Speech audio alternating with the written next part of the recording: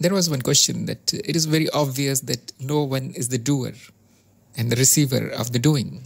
Then who is the supreme doer? And what is the purpose of doing?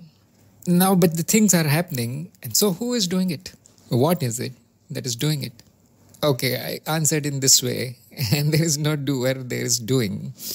And now, uh, this is language problem probably that uh, we do not uh, say doing if there is no doer. We say it happening. We say it as it is happening, not uh, the doing. So it's something to do with the language. So let, there are two questions, you know, uh, who is the supreme doer and what is the purpose of doing? Now, the second question is redundant because all you need to show is that there is a supreme doer and then you can uh, let the supreme doer have any purpose they have, they want, they wish. So the second question will disappear if we show that there is no supreme doer. It is kind of amazing that people think like this, that everything needs to be done, everything needs to be created, and everything must have reason. It is amazing that we think like this. And most of the people, they do not um, come out of this uh, attitude for the whole of their lives. It must be doing of something, isn't it? And then uh, the religious kind of people, they will export the reason into the sky somewhere where it belongs pro- properly. And the spiritual kind of people, those who, you know, read a lot of scriptures and all, they will export it to the karma, the theory of karma, cause and effect. Oh, it happened. It is the doing of this and that impressions, sanskar and all. And I must have done something wrong. That's why I got this fruit. It is the doing of my own, and so on. This is kind of spiritual view. Now, these these are all half truths. I'm not saying they are totally wrong. It can be explained like this, but half truths. Half of it is wrong. Can somebody guess? Can somebody guess here? What is wrong with the concept of supreme doer. Now, yes, the individual doer is gone, thrown away. That deserves, you know, the person deserves a medal for that. Not my doing, not my karmic uh, things. Somebody is there, but something is turning the wheels. So, can somebody think of an answer to this question? How can anything happen without it being done? You can, you know, put a name on that. Mother Nature is doing everything. Even I say many times you must have heard Mother Nature is doing it. There is some something very interesting that happens, and the body is doing its thing, and people think that I am doing it, and then they say oh, this is being done by Mother Nature because cannot let go of this concept of doing and doer. They need to export it somewhere. And that's why I, I also say it is happening. When a child is born, the parents take the responsibility. oh, it is my doing. We are responsible for the birth of the child, and therefore the child is my property now. I own it just like I own other objects. Now, it is good from the social point of view because our society is based on such concepts of doer, doing, responsibility, and position. Otherwise, this society will fall away. Can you can you imagine? I I was shocked. I'll tell you a little bit of story because this is our you know satsang that um, I heard Osho one day. I was he, he was I think I read it or he was talking. He said children are the property of the society. In his typical voice, you can imagine, very slow voice. So I was shocked actually, I came to know that this is always the case. This is the truth. The Osho said this, and something clicked in my mind. I said, Yes, there's so much truth in that. You see, when you hear some some some of the things like this for the first time, what do you hear? Uh, well, it, it looks like it was always true, isn't it? I always knew these things, and thanks for reminding me. So something something like that that happened And uh, that is because the ownership of the child is taken up by the ego, by the ego of the parents. It is not a doing of the parents, it is a happening. I'm, I'm, you know, straying away from the proper answer because you already know the answer, isn't it? We have repeated this thing so many times now. You know these answers. So I'm taking you in a different direction, just something new. So I realized, oh yes, it's so right, so true. The parents don't own the child. The child belongs to Mother Nature. And no, nobody is going to donate their child to Mother Nature because what, what is the what is the view of Mother Nature for an ordinary person? The jungle, the hills, the rivers, the birds and insects. Oh, well, it's so sad. It is very sad. We have cut down the Mother Nature into a tiny thing, which is which we capture in photographs and post it on Twitter. So it is very sad. Everything is Mother Nature. So the children, they belong to everything actually. Now you cannot tell this to the parents, isn't it? They will be furious. How can you take my property away? So no, we should not do this. Don't go to an ordinary person and tell them, oh, your uh, three sons, they don't belong to you. you don't have any control over them, okay? Let them go. And now that, that uh, father is going to kill you. So Osho did not go all the way Probably he did. Who knows? He's Osho. But he, he stayed in the middle. He said the children are a property of the society. It's not parents' job to raise them or to claim them as their own. Society should raise the children. Society should claim them.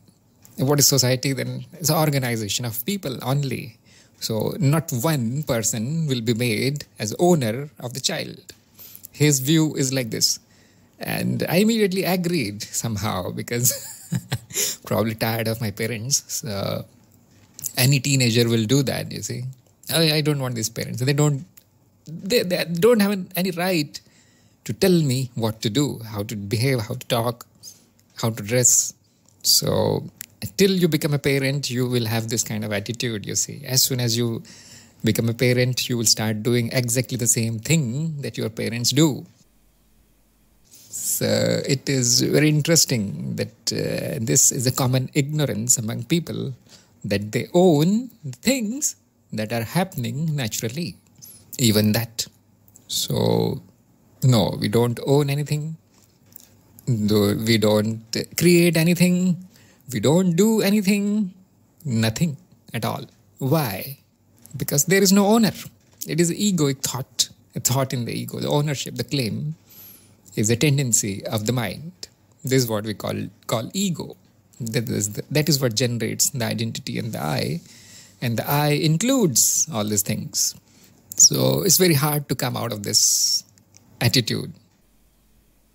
I think Gaurav has a comment. Khalil Gibran also said the same thing. Children come through you, but they don't belong to you.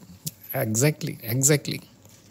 Now, I took the, I, I, I took this example of a child because it's very shocking, isn't it? Parents don't have any claim on the child. It's very shocking to hear these things. Uh, the parenthood is uh, like walking on a sword, sword's edge. Yes, I know it is not mine. Still, I need to treat it as if it is mine. Can you see? Now, here is spirituality in daily life for you. Those who think they're their life as a parent or child is a mess, is not spiritual. They should listen to the following. Your body is not you. Now, every every seeker, you know, even a newbie seeker knows this. Every uh, your body belongs to you. Not true, isn't it? Belongs to Mother Nature again. We still take care of the body as if it is mine, as if it is me, as if it is my part.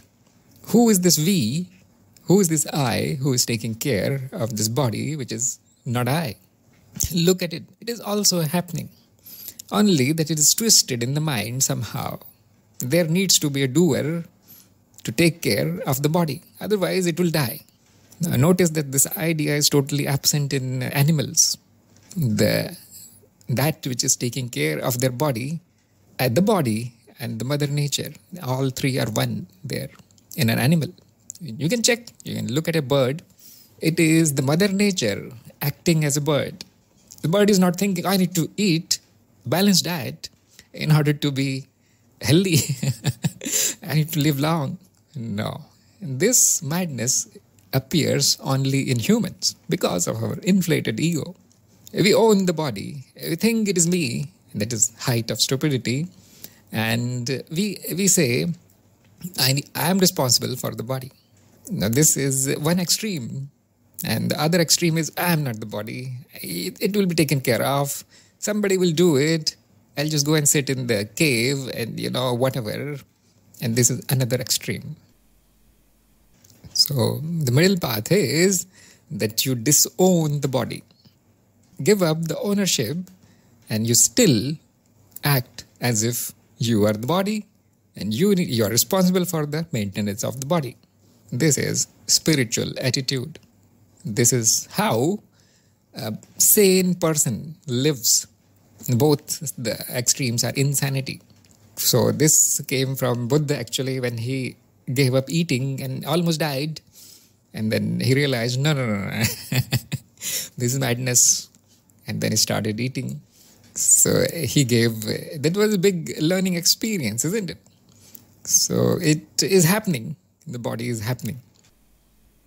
And the spiritual life is realizing, realizing nothing is mine, still doing that which needs to be done, still acting as if it has it was mine this is how we play so what will happen if you do something like this i don't guarantee it you know don't uh, take my word for it but uh, all the problems of your relations will disappear.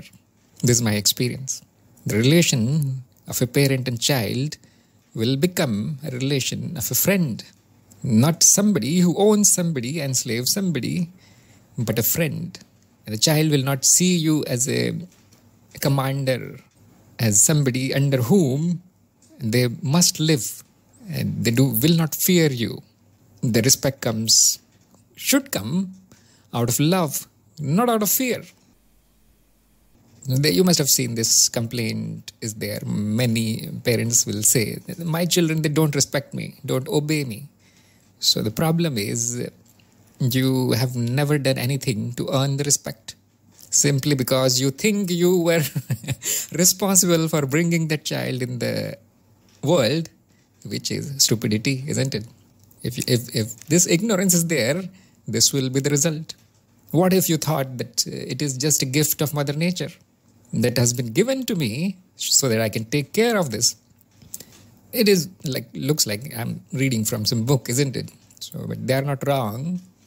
Uh, if you experiment like this, uh, treat the child as a friend, especially when the child can starts understanding a little bit, and you will you will see that in the face of the child. And nobody likes slavery.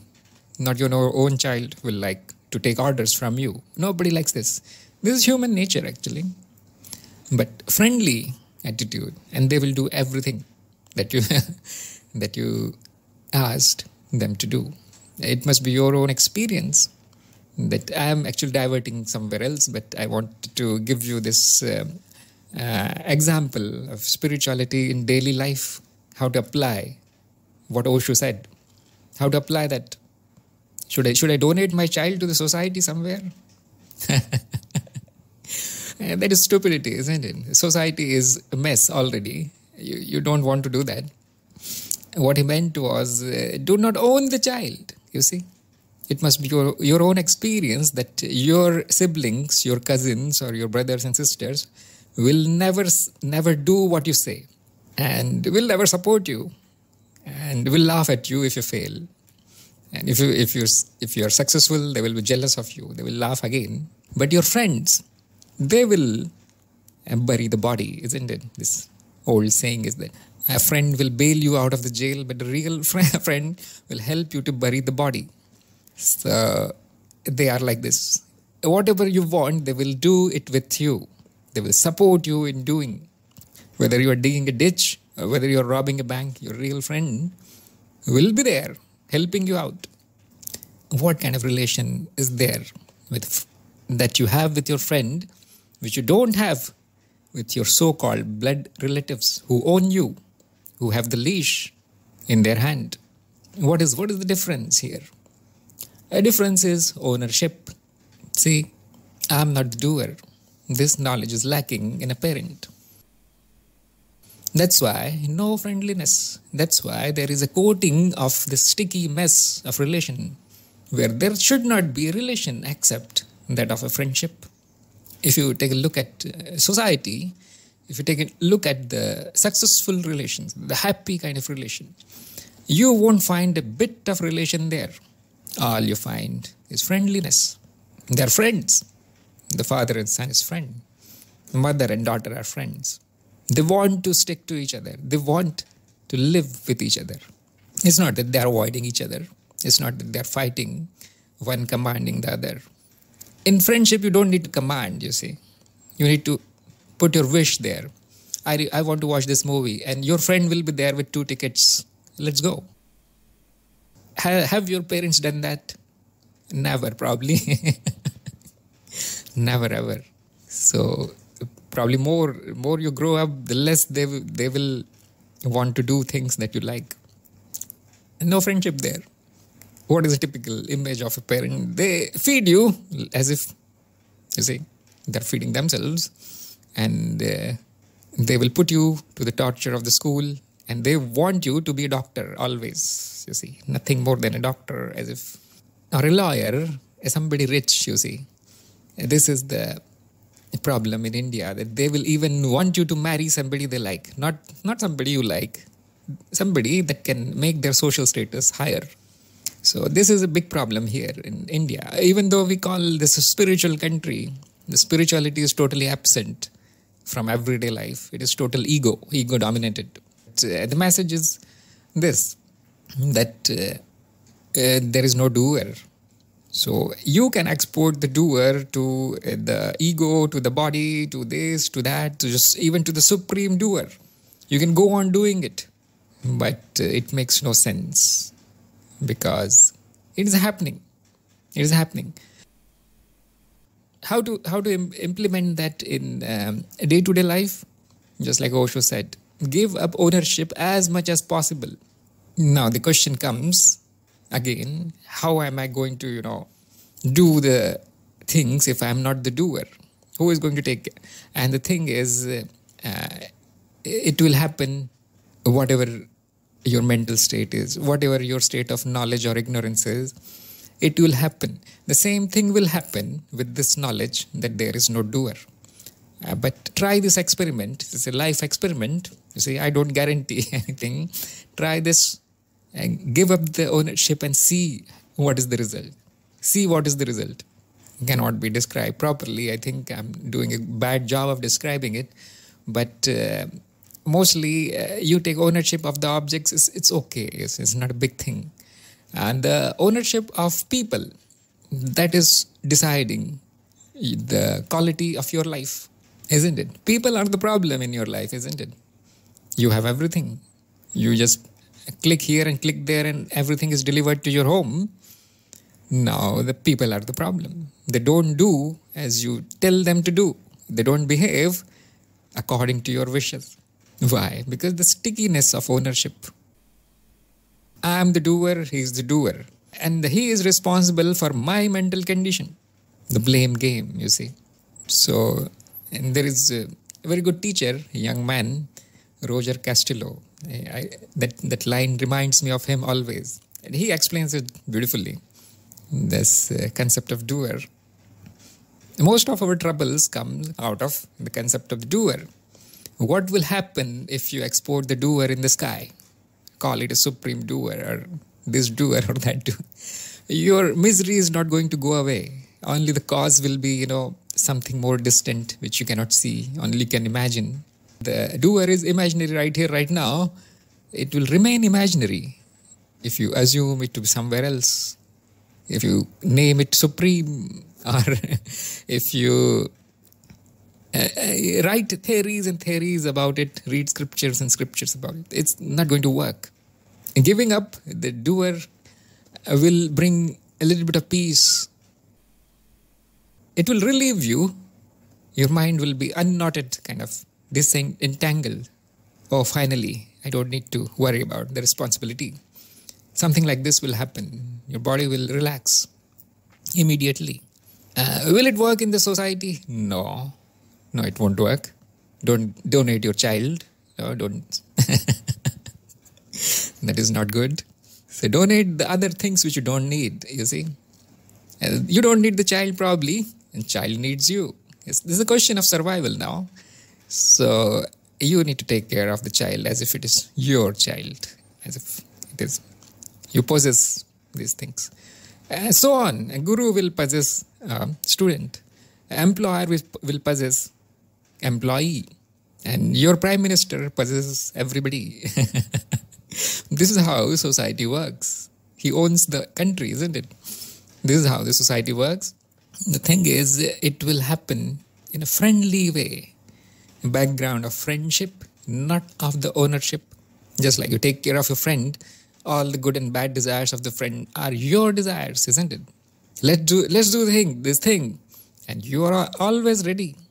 You bung the school, you bung the college, and you are always ready.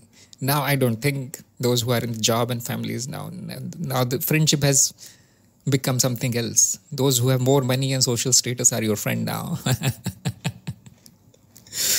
anyway, so uh, this is how friendship is. It is selfless.